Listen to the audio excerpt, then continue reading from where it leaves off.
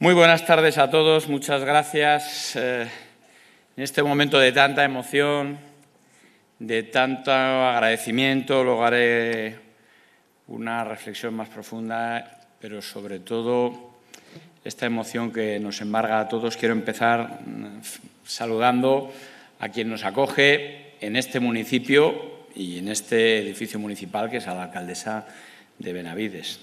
Por supuesto, al presidente de la Comunidad de Regantes, Presa de la Tierra, Francisco Javier Guerra. También al presidente de la Junta de Gobierno, a José Miguel González. A los consejeros de Agricultura y Ganadería, a María González Corral, y al consejero de la Tierra, de la Tierra de León me refiero, y consejero de Medio Ambiente, Vivienda y Ordenación del Territorio, Juan Carlos Suárez Quiñones.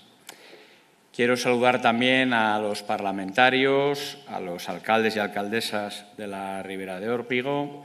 Quiero saludar también a la presidenta de la Confederación Hidrográfica del Duero, a los representantes de, las distintas administraciones públicas, delegación de Gobierno, delegación de la Junta de Castilla y León, y muy especialmente a los homenajeados, a los miembros de la comunidad de regantes, a todos los vecinos que aquí estáis. La verdad es que para mí es un honor eh, participar en la conmemoración de este quinto centenario de la comunidad de regantes Presa de la Tierra y quiero agradecer las generosas palabras del a Máximo, el director del acto.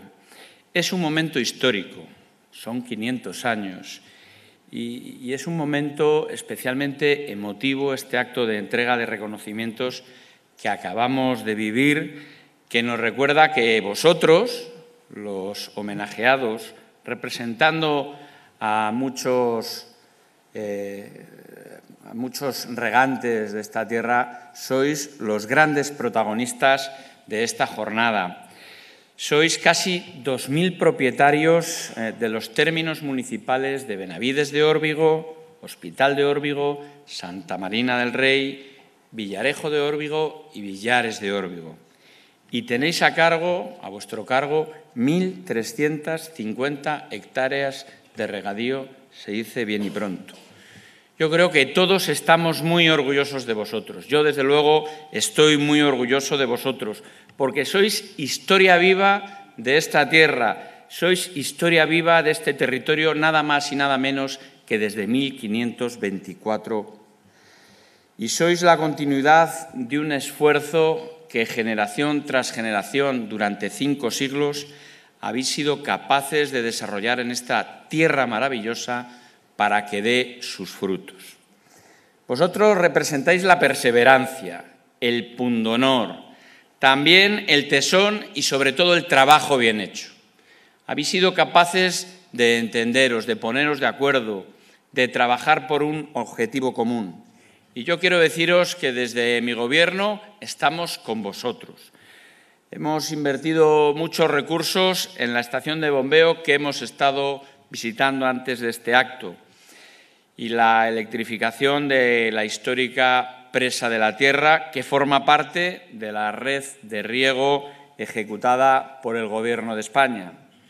También tenemos en licitación la instalación de la energía fotovoltaica para que aliviéis vuestros costes con una inversión importante de 1.200.000 euros, al 50% entre la Junta de Castilla y León y la Comunidad de Regantes los regantes.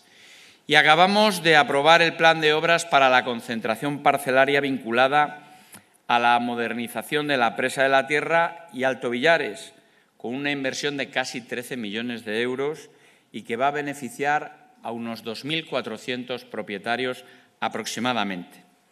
Por eso, desde el Gobierno autonómico estamos con el regadío porque consideramos que es una pieza clave maestra en el desarrollo rural en la provincia de León vamos a adjudicar este año la modernización de regadíos del canal bajo del Bierzo, de la ribera alta del Porma, de la margen izquierda del Porma. Estamos hablando de más de 13.000 hectáreas. También vamos a licitar la transformación de 1.000 hectáreas más en el nuevo regadío de Valderas. la instalación de energía fotovoltaica en el páramo bajo, que va a suponer la mejora de la competitividad en las 24.000 hectáreas de esa zona. En conjunto, estamos impulsando la modernización y la eficiencia energética en 49.000 hectáreas en la provincia de León, con una inversión que llama la atención, 90 millones de euros.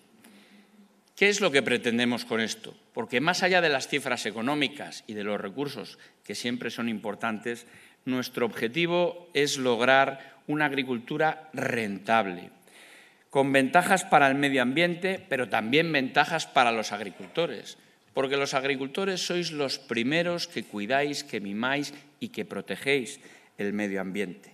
Y el agua es, desde luego, la mejor forma de alimentar el motor del desarrollo rural.